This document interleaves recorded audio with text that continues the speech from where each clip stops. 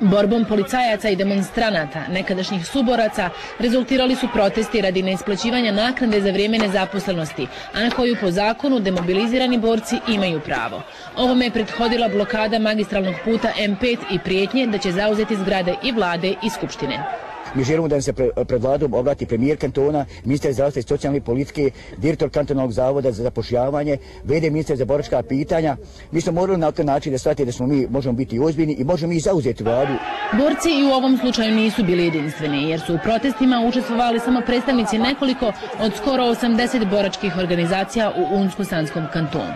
I ovo je nepravda da on voda jedne borce, da politička stranka njega gura, to se lično zna ko šta. Stranka za BH jel do, nismo i nećemo nikad biti više ko krade, ja sa njim neću. Priznaju da uz naknade protestiraju i zbog neslaganja sa navodno već dogovorenom novom koalicijom u Skupštini USK. Ovdje je nas poslala naša svijest, naše znači ono što nam duguju, jer mi smo branili državu i meni je najžalostnije uh, sada ovdje što moram reći stranka demokratske akcije uh, koja, u kojoj smo bili maltene 90% borci u toku rata da formira jednu koaliciju sa DNZ-om i SDP-om, to su za nas izdajnici.